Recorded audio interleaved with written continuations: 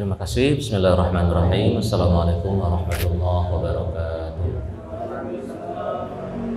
Alhamdulillahi rabbil alamin wassalatu wassalamu ala habibi rabbil alamin sayyidina maulana Muhammadin wa ala alihi wa ashabihi ajma'in. Tibtum wa taba mamsyakum wa tabawwatum minal jannati manzila. Allahumma 'allimna ma yanfa'una wanfa'na bima 'allamtana. وزدنا علما وهدى وتقى وصلاحا انك ولي ذلك والقادر ayyuhal akhwah bahagia rasanya bisa kembali berjumpa dengan antum semua. Di pekan kedua insya Allah kita lanjutkan kajian kita kajian kita Riau Salihin bab ke-37 di kitab saya.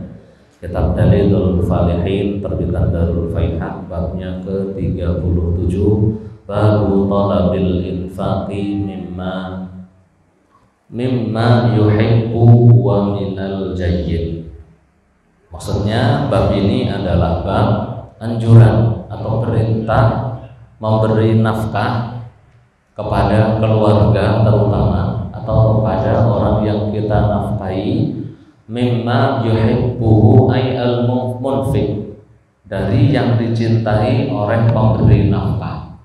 Wa minal jayyid eh, min jayyidi min amwalihi dari harta-hartanya yang baik jadi kemarin sudah kita jelaskan tentang kewajiban memberi nafkah kepada anak, istri, ya, anak bapak, ibu, kakek, nenek, dan yang lain. Memberi nafkah itu tidak hanya sekedar ngasih yang penting kenyang, ngasih baju yang penting ada baju dan jika memang ada kemampuan kita bisa memberi lebih yang baik-baik maka usahakan memberi nafkah kepada anak istri juga dari yang baik-baik. Maksudnya dari yang kita cintai. Kita pengennya beli baju baju yang mahal. Ya diusahakan untuk memberi memberikan baju beliin baju istri juga yang yang mahal dong gitu loh. Bahkan yang namanya suami lumrahnya pengen kalau lihat istri itu kan senangnya kan gitu. Senang istri pakai baju yang yang ma yang mahal yang yang indah yang mewah gitu. Meskipun kita nggak pakai ya itu yang dianjurkan gitu maksudnya. Ngasih nafkah itu yang kita sukai. Ngasih makan ke anak. Ya kita senangnya apa? Makanan yang enak. Jangan sampai bapaknya makan enak ke warung padang mulu atau warung bukan atau mana. Marung maunya ke resto terus. Hobi kuliner. Kuliner sama teman-temannya. Anak sama istrinya. Makanya sederhana di rumah. Nggak seperti itu. Kita senang makan enak. Makan yang yang wah gitu. Ya usahakan istri dan anak-anak kita juga makanannya sama dengan kita yang kata baginda Nabi berilah mereka makanan seperti yang kalian makan gitu. Berarti pakaian yang seperti kalian pakai juga gitu. Ya syukur-syukur bisa lebih dari yang kita yang kita pakai yang kita makan. Biasanya kalau bapak saking sayangnya ke anak biasanya biasanya si emak nggak tahu kalau bapak. Emak itu saking sayangnya ke anak udahlah. Emaknya yang nggak ada telur biar telurnya untuk anaknya emaknya cuma kuahnya betul gitu ya udah ayam cuma satu atau dua tiga biji buat anak-anaknya wis nggak apa-apa kalau emak biasanya ngalah kalau bapak ngalah nggak bu? Ya? Enggak ya, biasanya. Kalau bapak-bapak ngalah enggak biasanya? Ngalah. Kenapa seru? Kenapa seru? Kadang-kadang. Kadang-kadang. Iya. Begitu juga kalau kita mau bersedekah. Sedekah itu masuk ke infak secara umum mau sedekah baik sedekah yang wajib bentuknya zakat atau sedekah yang sunnah usahakan yang kita sedekahkan kita pakai untuk zakat adalah yang masih kita cintai orang punya padi. Berarti kan wajib zakat padi punya sawah. Kadang-kadang pinter. Giliran yang dikasih zakat yang kopong-kopong yang banyak kosongnya. Itu bahasa sayanya kopong. Tahu kopong? Nggak ada isinya kan? Padi itu ada yang banyak kopongnya ada yang mentes-mentes ada yang yang isi semua gitu. Giliran bayar zakat dikasih yang yang kopong-kopong atau giliran bayar zakat dikasihnya padi yang habis roboh. Habis roboh itu biasanya ya campur apa namanya? Campur lumpur. Nanti padinya juga namanya udah kerendam air, dimakan juga kagak enak, nggak seperti itu. Atau peternak ngasih zakatnya yang baik-baik lah, yang baik. Giliran peternak ngasih zakat kambing, pilihin kambing yang kurus gitu. Nggak seperti itu caranya. Anjurannya nggak seperti itu. Mau sedekah pada orang pada tetangga sedekah makanan. Usahakan makanan yang kita pun suka dengan makanan tersebut. Istilahnya layak untuk dimakan. Ngasih soto. Sotonya udah dua hari yang lalu dimasukin kulkas kasih ke kita. Masih dingin tunggu dulu lah biar nggak begitu dingin. Giliran dingin. Basi pengalaman saya itu. Dapat seperti itu pernah. Dapat soto masya Allah soto. Masih dingin tunggulah. Eh giliran sudah nggak dingin? Basi. Di hati ya Allah mau membuang sampah aja kok ya ke saya. Gak boleh seperti itu ya mau ngasih baju? Ya kalaupun baju bekas kita masih suka. Masih layak untuk dipakai. Baju bekas sudah sobek-sobek penuh tambalan sono sini kok ya masih dikasih yo jangan toh. Beli lagi yang baru kayak gitu ya. Nah, ini kalau mau ngasih hadiah ke teman mikir-mikir dilihat temennya itu ya ngono ya ngono. Ojo ojo kayak ngono jangan kelebihan nanging kaya ngono. Itu kadang-kadang kan orang ngasih hadiah itu nggak lihat. Ngasih bener ini udah mau lebaran gitu ngasih THR ke temennya kadang ke ustadznya kadang ke kiainya ngasih. Lah ngasihnya apa? Sarung harga 30-an ribu gitu. Ya Allah dipakai nerawang gitu. Tahu nerawang ya? Ya nerawang dipakai nerawang tipis gitu dipakai gerak sedikit sobek ya Allah nggak usah ngasih hadiah kalau kayak gitu ya?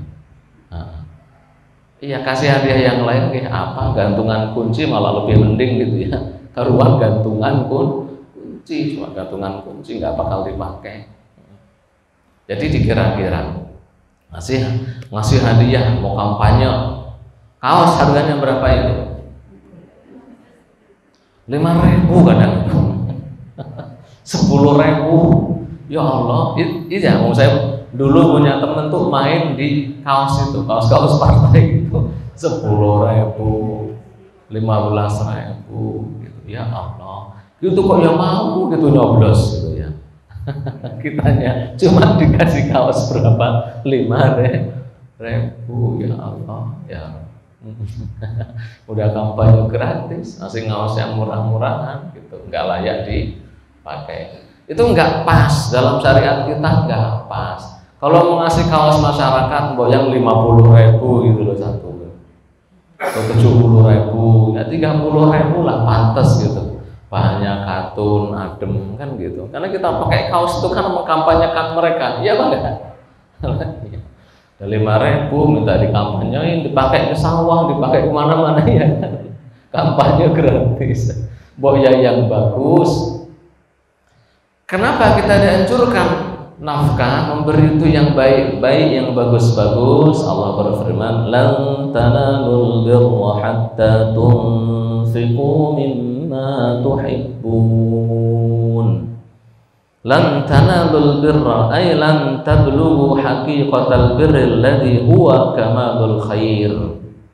Kalian tidak akan mencapai kesempurnaan kebaikan Aw lan tanalul bir lan tanalu birrallahi alladhi huwa rahmah wal ridha wal jannah. Atau kalian tidak akan bisa mencapai mencapai kebaikan yang dari Allah yaitu kasih sayang, ridha dan surga. Enggak akan mencapai surga. Hatta tunfiqu mimma tuhibbun ay minal mal aw mimma ya'ummuhu wa ghairuhu jadi sebelum kalian sampai kalian menafkahkan harta-harta yang kalian cintai. Kalau pengen dapat surga, ngasih harta yang dicintai, jangan yang sudah tidak butuh, tidak layak pakai, sudah tidak bisa dimakan, nggak layak konsumsi, baru dikasih orang. Ya.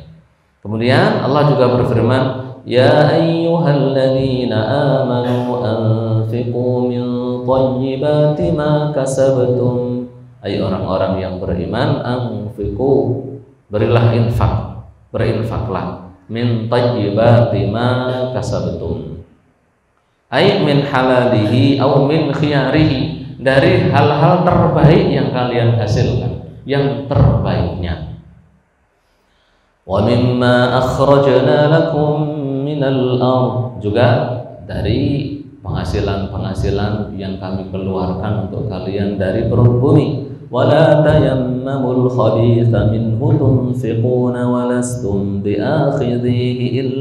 An tughmidu fihi. Wala tayammamu ay wala taqsud wala taqsidu al khabitha ar-radi. Jangan kalian sengaja infak itu cari yang jelek-jelek. Gak boleh kata Allah Subhanahu wa taala Walastum bi akhirih padahal kalian sendiri kalau dikasih itu nggak bakal ngambil. Ngasih orang baju jelek-jelek, sarung jelek-jelek, apa jelek-jelek. Giliran kalau dia dikasih jelek nggak bakal ngambil. Loh dia kan miskin, saya kaya, bodoh wae. Perasaan orang miskin dan perasaan orang kaya sama. Sama-sama pengen dimuliakan. Sama-sama merasa dihinakan kalau direndahkan. Makanya siapa pun dia kita harus menghormatinya. Illa antum fi kalian ya kalau mau ngambil itu harus merem dulu gitu. Nah kalian aja nggak mau ngambil kenapa orang lain di dikasih? Itu kalau orang lain. Bagaimana dengan anak dan istri? Lebih-lebih lagi anjurannya cari nafkah yang terbaik min halalihi au min khiyarihi dua-duanya dari yang halal halal nafkah untuk anak istri usahakan hanya yang halal. Wa min khiyarihi juga yang baik baik. Ya kadang mungkin antum atau kita harta kita kecampur dengan yang subhan yang subhan jangan untuk makan anak istri sebesar mungkin. Apa contohnya subhan ya perkara-perkara syubhatnya untuk ketahui lah ini halalnya kagak jelas ini. Udah enggak untuk makan anak istri. Untuk anak istri usahakan benar-benar yang halal dan yang terbaik. Enggak ada syubhat-syubhatnya. Kemudian hadisnya nomor 299 wa an Anas bin Malik radhiyallahu anhu qala Abu Talhah radhiyallahu anhu aktsar al-ansar bil Madinati malan min nakhlin.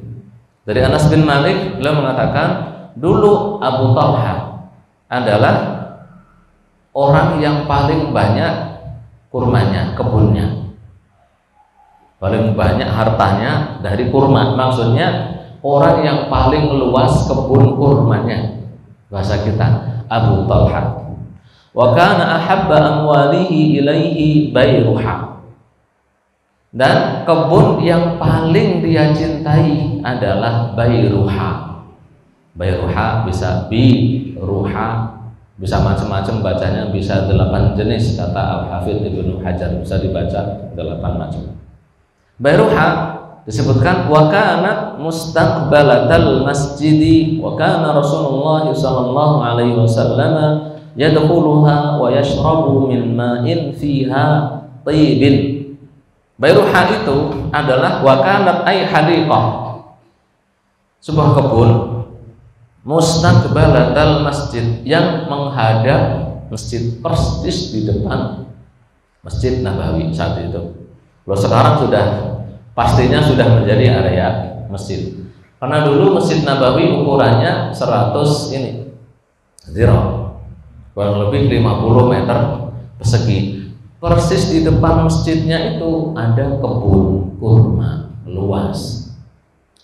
Di dalam kebun tersebut ada mata air. Enggak semua kebun kurma memiliki mata air, ya. Enggak semua. Ini uniknya kebunnya Abu Talha memiliki mata air. Dan Rasulullah Shallallahu Alaihi Wasallam masuk sering masuk ke kebun tersebut lalu oleh Abu Talha di disuguhin air yang yang sejuk tadi, air yang segar. Ini kata para ulama, kita itu dianjurkan senang menjamu orang-orang soleh. Jadi kalau ada tamu ke orang soleh, senanglah. Bukan saya, saya belum soleh ya. Yang teman-teman itu yang soleh itu Pak Rudi, gitu, mungkin Pak Wondo, mungkin kan ya atau Ustadz Yusuf, Ustadz Amin. Kalau ditamui beliau-beliau ini senang senang jamu. Para sahabat itu kalau ketemuan Nabi itu senangnya luar biasa sebaik-baik tamu gitu. Kenapa? Yang bakal kita jamu adalah orang soleh. Senanglah. Seperti Abu Talha senang. Dan ya kita kalau dijamu itu ya dimakan aja. Biasa wae. Manusia itu kalau nggak dijamu ya menjam menjamu. Kalau nggak ngerepotin orang ya direpot direpotin anda orang prinsipnya nggak mau ngerepotin orang nggak mau direpotin. Tinggal di gunung saja. Bersendiri. Yang namanya orang itu kalau nggak ngerepotin ya di repotin. Ya siap direpotin orang. Ya nggak masalah ngerepotin orang.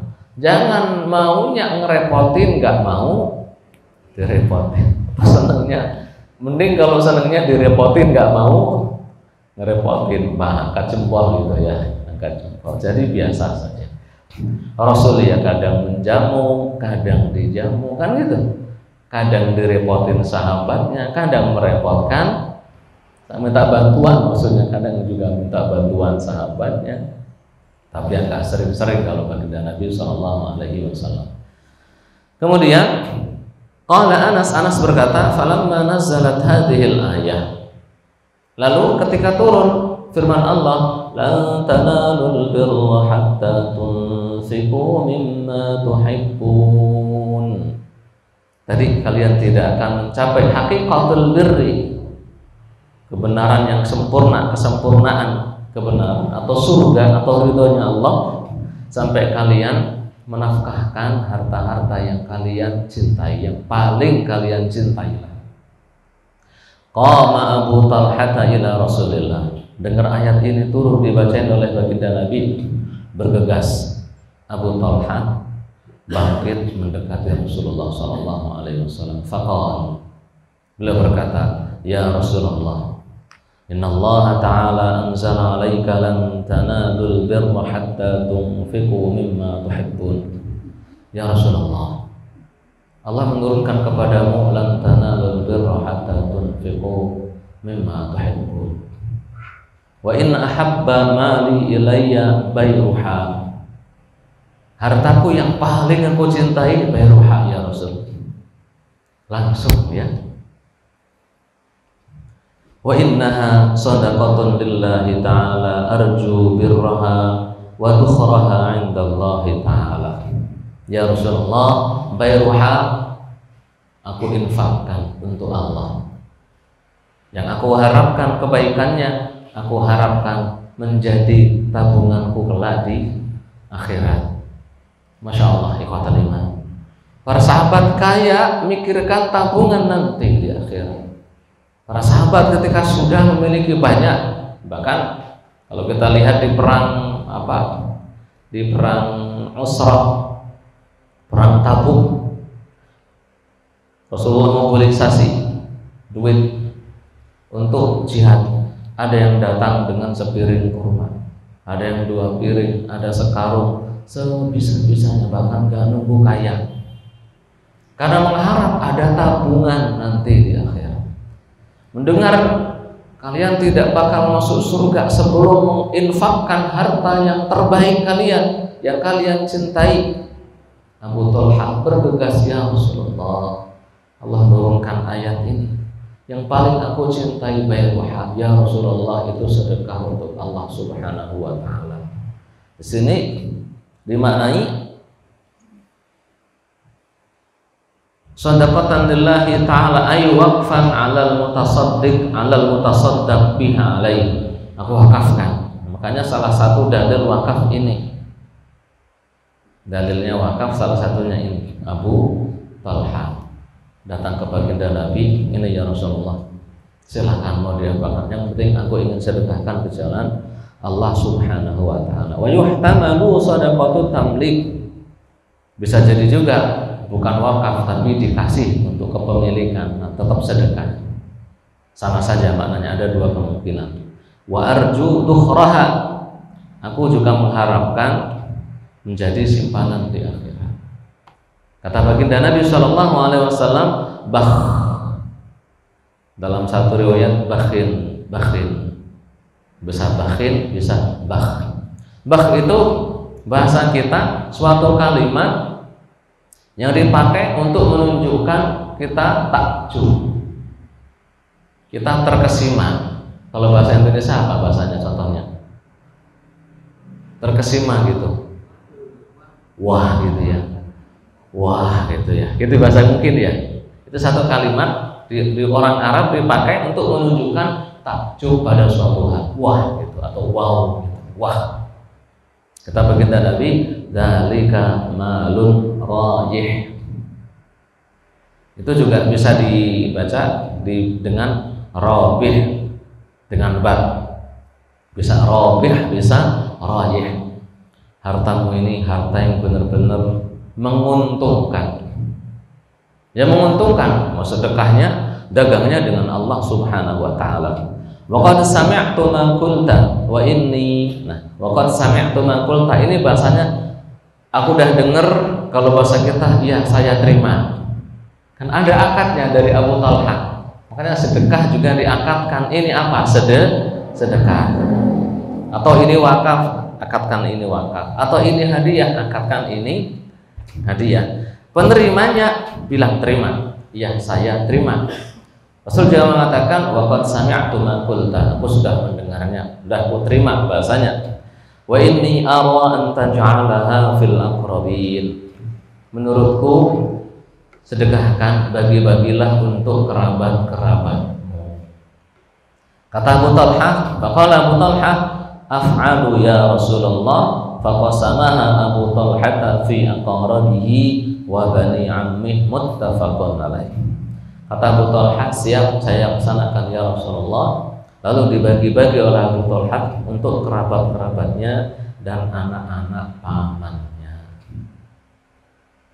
Nah ini dari hadis ini di samping pelajaran utamanya anjuran menafkahkan dari yang kita cintai, dari yang baik-baik bahkan yang terbaik.